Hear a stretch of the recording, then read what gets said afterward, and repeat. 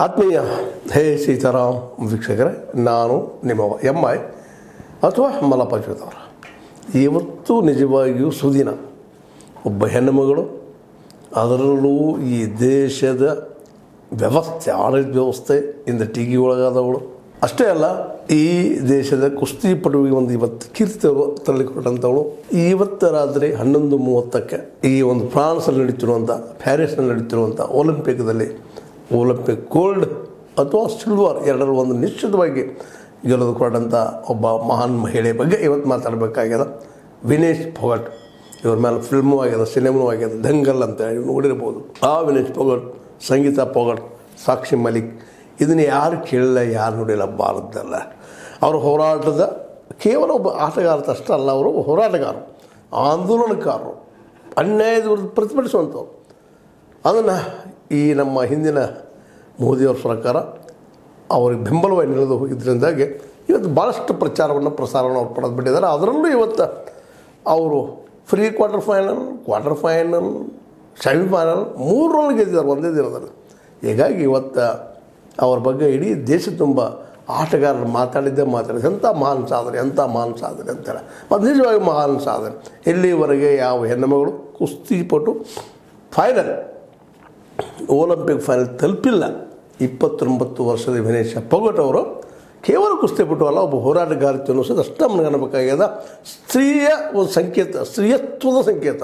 ಇವತ್ತು ನಿಂತಿದ್ದಾರೆ. ಇವತ್ತೇನಾದರೂ ಗೋಲ್ಡ್ ಗೆದ್ರ ಗೆದ್ರ ಅಲ್ಲ, ಗೆದ್ದೇ ಗೆಲ್ತಾರೆ.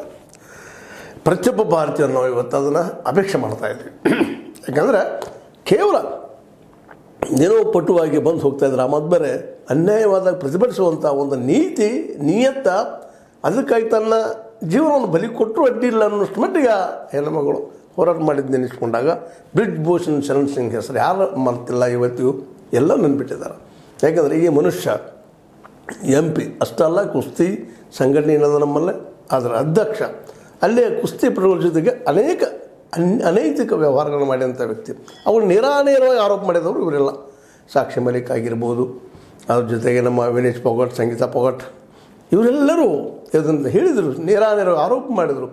ಜಂತರ ಮಂತರದಲ್ಲಿ ನಿರಂತರ ಮೂವತ್ತು, ಮೂವತ್ತೈದು ದಿನಗಳವರೆಗೆ ಏನಪ್ಪ ಅಂದ್ರೆ ಒಂದು ಅಹಿಂಸಾತ್ಮಕವಾದ ಅಸಹಕಾರ ಚಳವಳಿ ಮಾಡಿದಂಗೆ ಹೋರಾಟ ಮಾಡಿದವರು. ಆದರೆ ಇದಕ್ಕೆ ನಮ್ಮ ಪ್ರಧಾನಿ ಮೋದಿಯವರು ಸ್ಪಂದಿಸಲೇ ಇಲ್ಲ, ಇವತ್ತಿಗೂ ಸ್ಪಂದಿಸಿಲ್ಲ, ಇವತ್ತು ಗೆದ್ದ ಮೇಲೆ ಸ್ಪಂದಿಸ್ತಾರೋ ಅನ್ನೋ ಸಹಿತ ಅಷ್ಟ ಒಂದು ಏನಪ್ಪ ಅಂತಂದ್ರೆ ಒಂದು ಎದುರು ನೋಡುವಂಥ ವಿಷಯ ಆಗಿದೆ ಅಂತ. ಯಾಕಂತಂದ್ರೆ ವಿಶೇಷವಾಗಿ ಗೆದ್ದಂಥವ್ರು ಎಲ್ಲರಿಗೂ ಫೋನ್ ಹಚ್ಚುವಂಥ ಅವ್ರಿಗೆ ಮನೆಗೆ ಆಹ್ವಾನ ಮಾಡಿ ನಾಷ್ಟ ಅಂದರೆ ಬೆಳಗಿನ ಆ ಉಪಹಾರಕ್ಕೆ ಅದು ಕರೆಯುವಂಥ ನಮ್ಮ ಪ್ರಧಾನಿ ಮೋದಿಯವರು ಈ ಸಲ ನಮ್ಮ ಪೊಗಟ್ರನ್ನ ಕರೀತಾರ, ವಿನೇಶ್ ಅವ್ರನ್ನ ಕರೀತಾರ ಅನ್ನುವಂಥದ್ದು ಒಂದು ಯಕ್ಷ ಪ್ರಶ್ನೆ ಯಾಕಪ್ಪ ಅಂದ್ರೆ ನಿಜವಾಗಿ ಅವರು ಸ್ಪಂದಿಸಬೇಕಾಗಿತ್ತು. ಸ್ತ್ರೀಯರಿಗಾದಂಥ ಅನ್ಯಾಯ, ಅದರಲ್ಲೂ ಕುಸ್ತಿಪಟುಗಳು ಅದರಲ್ಲೂ ಈ ದೇಶದ ಕೀರ್ತನೆ ಏನು ಅನೇಕ. ಈ ಒಂದು ಕಾಮನ್ವೆಲ್ತ್ ಗೇಮ್ಗಳಾಗಿರ್ಬೋದು ಆಟಗಳಾಗಿರ್ಬೋದು ಏಷ್ಯನ್ ಕ್ರೀಡೆಗಳಾಗಿರ್ಬೋದು, ಇನ್ನುಳಿದ ಎಲ್ಲ ಕ್ರೀಡೆಗಳಾಗಿರ್ಬೋದು ವಿಶ್ವ ಕುಸ್ತಿಗಳಾಗಿರ್ಬೋದು, ಎಲ್ಲದರಲ್ಲೂ ಭಾಗವಹಿಸಿ, ಇವು ಎಲ್ಲ ಈ ಹೆಣ್ಮಕ್ಳು ಏನು ಹೇಳಿದ್ದೆ ನಿಮಗೆ? ಸ, ನಮ್ಮ ಸಾಕ್ಷಿ ಮಲಿಕ ಜೊತೆಗೆ ಸಂಗೀತ ಪೊಗಟ, ಈ ವಿನೇಶ್ ಪೊಗಟ, ಮುಂದೆ ಬಜರಂಗ್ ಪುನಿಯಾ ಅನ್ನುವಂಥ ವ್ಯಕ್ತಿ. ಇವರೆಲ್ಲರೂ ಒಂದು. ಈ ನಾಡಿಗೆ, ಈ ದೇಶಕ್ಕೆ ಒಳ್ಳೆಯ ಸಂತಂತ ನಮ್ಮ ಧ್ವಜ ಊಂಚೆ ರಹೆ ಹಮಾರ ಅನ್ನುವಂಥ ಧ್ವಜದ ಬಗ್ಗೆ ಅದನ್ನು ಎತ್ತರಕ್ಕೆ ಒಯ್ದಂಥ ವ್ಯಕ್ತಿಗಳು ಇವರೆಲ್ಲ. ಇಂಥವ್ರ ಬಗ್ಗೆ ಇವರಿಗೆ ಆದ ಅನ್ಯಾಯವನ್ನು ನೇರಾನೇರವಾಗಿ ಜನರ ಮುಂದೆ ಒಯ್ದಾಗ ನಮ್ಮ ಆಡಳಿತ ವ್ಯವಸ್ಥೆ, ಅದರಲ್ಲೂ ಮುಖ್ಯವಾಗಿ ಮೋದಿಯವರು ಸ್ಪಂದಿಸದೆ ಹೋದದ್ದು ಇತಿಹಾಸದ ಒಂದು ಕಪ್ಪು ಅಕ್ಷರಗಳಲ್ಲಿ ಬರೆದಿರುವಂಥ ವಿಷಯ.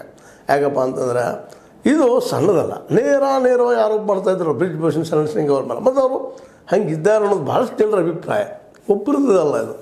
ಮತ್ತು ಅದಕ್ಕಾಗಿ ಅವರು ತನಿಖೆ ಮಾಡಿಸ್ಬೇಕಾಗಿತ್ತು. ಅದು ಅವ್ರ ಬಗ್ಗೆ ಏನಾದರೂ ಮಾತಾಡಬೇಕಾಗಿತ್ತು. ತಪ್ಪಾಗಿದ್ದರೆ ಶಿಕ್ಷೆ ಕೊಡಿಸ್ಬೇಕಾಗಿತ್ತು. ಅದು ತಪ್ಪು ಆಗದೇ ಇದ್ದರೆ ಅದು ಮಾತು ಬೇರೆ ಯಾಕಂದ್ರೆ ಒಬ್ಬ ಜವಾಬ್ದಾರಿತ್ವ